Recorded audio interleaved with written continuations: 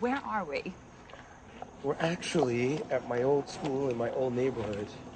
Uh, I like to come here once in a while. Yeah, but can't we get in trouble?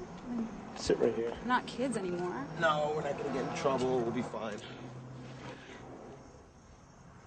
What's up? Why can't you just leave the life? Just stop fighting and live a normal life. Because I'm a fighter. That's what I do. That's who I am. That's what I've always been. People change, Patrick. Maybe there comes a time when you just stop, you know? You learn to solve life's problems without using your fists. Now you're starting to sound like my father. Well, he must have been a very smart man.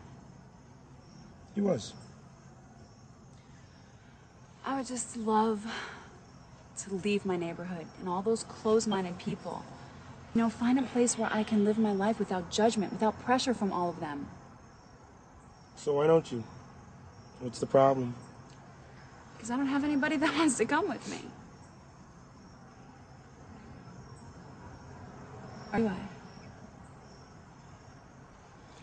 Look, Gina, I can't just leave right now. You know what I mean? I've got my boys, I got my family, I've got all these people who expect me to be a champion, you know? And um, I really need to stay in the ring right now. It's almost like uh, about loyalty, you know what I mean? I'm not really sure you'd understand that. No, I understand. I just. I wish it could be different.